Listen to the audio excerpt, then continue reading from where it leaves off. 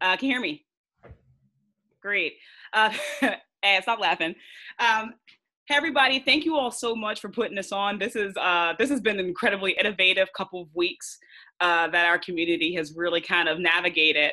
Um, I recognize and understand just how how strange these times are and, and how stressful they can be for some folks. And times like these are really important because it gives us the opportunity to still talk.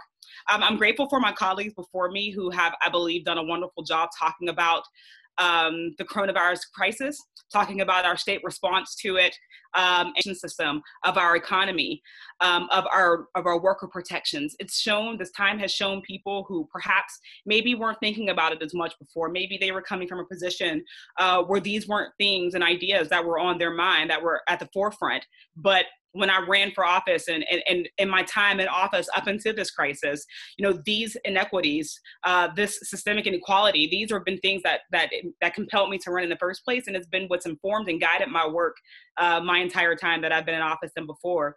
Uh, when I first ran, it was it was a little. People thought it was a long shot, you know, to talk about Medicare for all and to talk about uh, the value of, of clean air and clean water, particularly as it pertains to environmental racism uh, what we're seeing right now um, are all of these arguments and the importance of them laid out right now. Um, I'm proud that in my time in, in the state house, I have really uh, helped, I believe, to talk about and, and, and, kind of uplift the new narrative about some of these what we call progressive issues, but what we really know are just basic human rights. Uh, we know that right now, more than ever, that it's inhumane for people who have not committed or been convicted of a crime to lay in a jail uh, on on cash bail uh, especially right now while we have a crisis. Uh, we know what happens when we have a society where every person does not have health care, does not have Medicare, uh, where folks who are sick when the working class uh, can't afford to take off.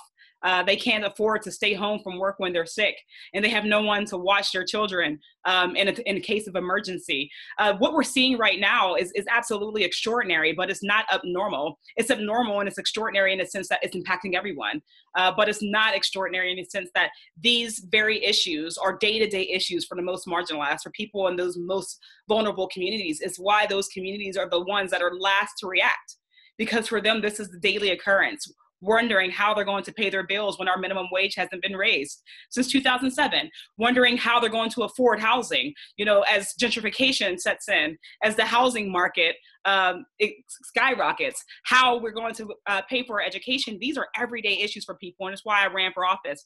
Um, in my short time my 100 days i've done probably about 15 events whether it be forums and um, senior brunches and senior events and health events for my district. I've really tried to bring a new representation to this district.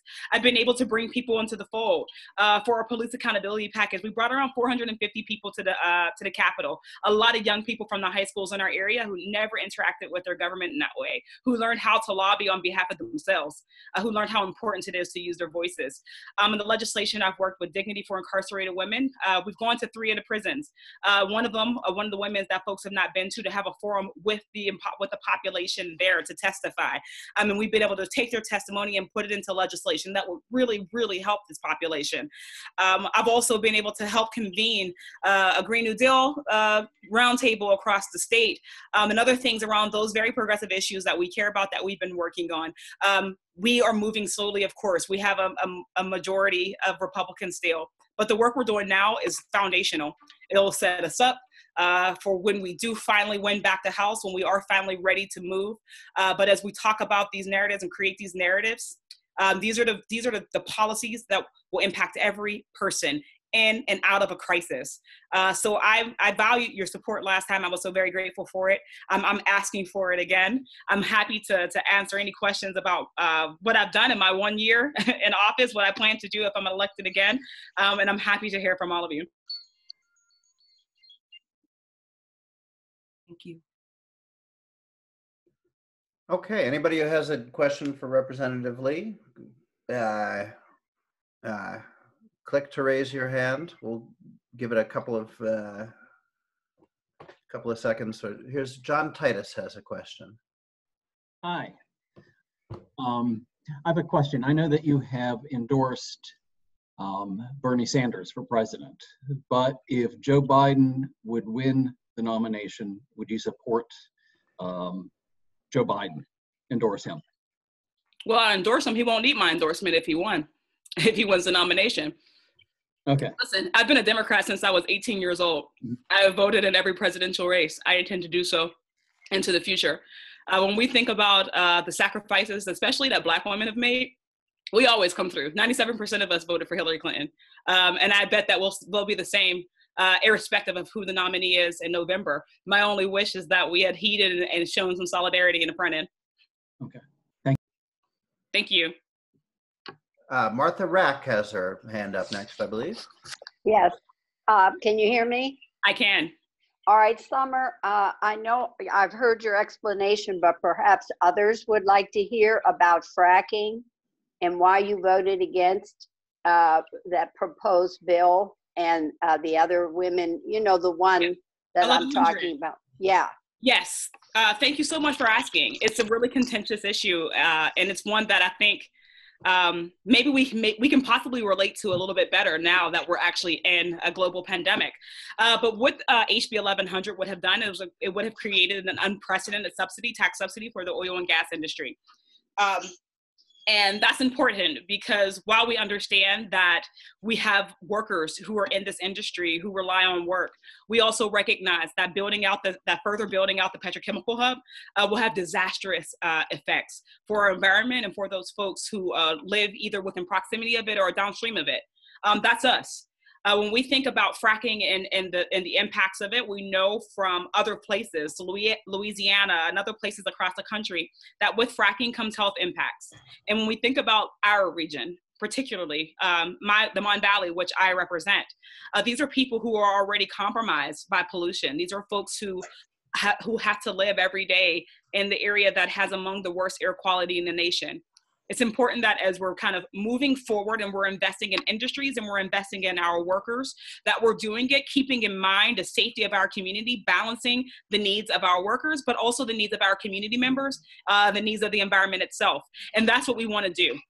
Uh, so we voted against that, A, because building out that petrochemical hub is, is dangerous. It is frankly dangerous. Uh, but B, not because we don't value workers. You know, um, I'm proud to have stood on picket lines with workers across the state uh, every single time that they call because I truly believe in, the, in unions for all. uh, and I truly believe uh, in, in worker protection and workers' rights. But we also know that environmental justice is going to get us soon. Um, to, to kind of use the, the example of this, right now we know that President Trump is looking to open up the country back by Easter. That means that he would send our workers out into a global pandemic uh, with no protections, and he would leave them to fend for themselves. Um, that shows very kind of it's, it's a very immediate kind of reaction of we cannot continue to pit health and wealth. We cannot continue to say that we need jobs at the uh, uh, and at the expense of the economy and vice versa. We have to come together to talk about how we can do both of those things. Uh, we have to bring all folks to the table uh, so that we are making a plan. Economies change, um, and society has to be flexible as it does that. But it's important that we don't do what we did last time and we left our coal workers high and dry. Or we don't allow to what happened last time to my community, where the steel industry did not collapse but left. Uh, so we want to make sure that we're mitigating that, but also being realistic about our needs and realistic about our future. Okay, I see one more hand raised here, and we'll make that the last question and then move on to the next race. So Christine Seppi. Uh, I really appreciated what you said about the situation showing the vulnerabilities of life that are already there for so many people. And um, Ed Gainey also talked about the issue of all the small businesses. And I wonder what suggestions um, you have for the legislature that would be more help for the people who are who are seriously vulnerable in this situation Yeah. Who don't have jobs and don't have food and can't pay for their housing you know the reality of, of this is that this is a this is an issue and a situation that's going to take the coordination of all levels of government all levels of our community and our society. What we're seeing right now is and just literally for for a quick example right now my high school is literally doing a, a crowdsourcing to get laptops and chromebooks to the most vulnerable kids so that when our school year is ended those kids can still learn remotely equitably he's going to the community to do that because the state is not funding our education at the way at the level it should be uh, those are all things that we have to talk about i think when we're thinking about our small businesses and those folks who are without a job um, in one day or two days their bills are going to be due and we know that housing is unaffordable already. We know that families who have been laid off, or families who are already struggling before this, are going to be the ones who are hardest hit. Um, I was proud to have introduced uh, to be introducing a bill that would hold evictions and uh, foreclosures. I mean, our Supreme Court moved on that. That's one way that we can help people. Uh, the next way that we can help people, um, literally, is a UBI. Uh, we've actually heard about this a lot uh, over the last year through our debates, our presidential debates. Uh, that's something that we are actually getting through our stimulus package is essentially a UBI. I think we recognize that it possibly it probably should be a little bit higher uh, because people have not just a one time issue, but this is probably going to last for months. And the impacts of it is going to last months and even years after that. Uh, so, money, cash money going to the hands of people um, is our next thing. This, the next thing that we need to talk about is educational equity. Um, I think a lot of the things that we're seeing now, again, these are not issues that are just coming up. These are issues that have been compounding um, and that circumstance have kind of put into relief, but these already been issues. So funding our education system, um, ensuring that we have an equitable funding scheme for schools, uh, that's another thing that we need to be doing right now. Uh, immediately moving on paid family leave and paid sick time uh, because we recognize that paid sick time doesn't help right now because our schools are out. So we need both.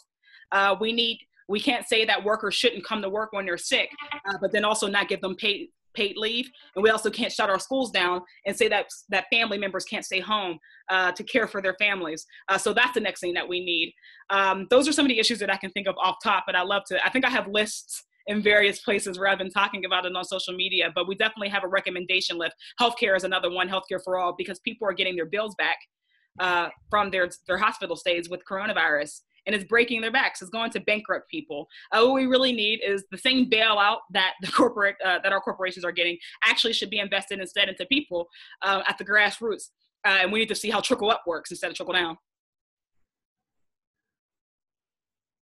All right.